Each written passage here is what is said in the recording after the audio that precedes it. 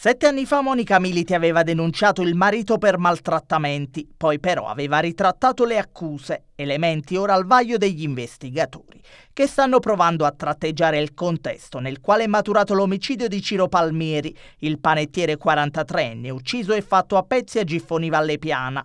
Le immagini delle telecamere hanno inchiodato la moglie Monica e il figlio ventenne Massimiliano ed un altro figlio di 15 anni, proprio il più piccolo degli indagati, è stato già ascoltato dal procuratore presso il Tribunale per i minori.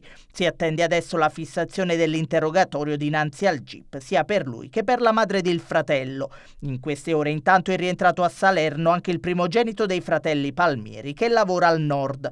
È stato affidato ai servizi sociali invece il fratellino di 11 anni, che ha assistito all'agghiacciante omicidio avvenuto nel pomeriggio del 29 luglio nella casa di Via Marano.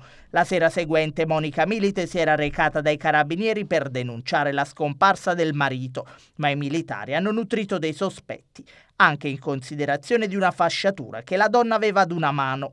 Le immagini delle telecamere poi hanno mostrato la ghiacciante verità. Il cadavere di Palmieri è stato recuperato in un dirupo sulla statale che collega Giffoni con Serino. Le operazioni si sono rivelate particolarmente complesse, come spiega Dotto Cianneli, il presidente regionale del soccorso alpino. Con tecniche di corda siamo scesi, abbiamo provveduto ad imbarellare la salma e quindi a trasportarla sulla strada